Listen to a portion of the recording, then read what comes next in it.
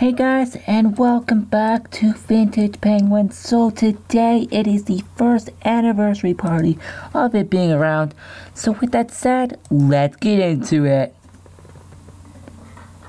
And we land in the town, and the music has been changed to the third anniversary music, which I think is awesome. Alright, so obviously, as you know, for all anniversaries, the main attraction is the coffee shop, and Whoa.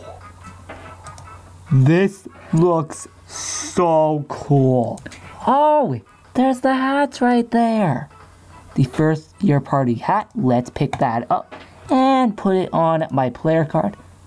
It is right there. That looks really cool. So anyway, now let's head on over to the book room. And there are a few people up here. Oh, by the way, if you're trying to find the pin, it is right here. The Vintage Penguin one year pin. Let's pick that up as well. Let's put that on. That looks really cool. wow. And of course, let's not forget the yearbook. The 2017 to 2018 yearbook. So, let's start off with February.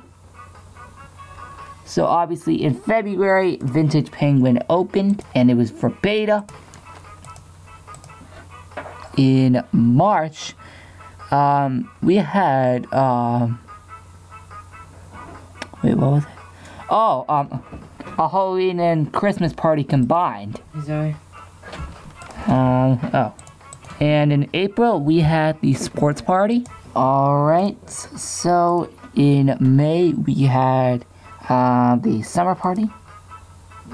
In June, we had the um, color vote and the submarine party. And then in July, we had the um, western party. And then August is when I joined, we had the water party. And then in September, we had the fair. In October, we had the um, Halloween party. And then in November, we had Camp Penguin. And then in December, obviously, we had the Christmas party. And then in January, we had the Winter Fiesta. And that is pretty much it for the, um, you know, yearbook. So guys, that's it for this video. If you guys enjoyed it and you want to see another video like this, be sure to look out for Big Brother Season 6 right after this. And yes, we actually did it. So with that said, I will see you guys later for that video. And yeah.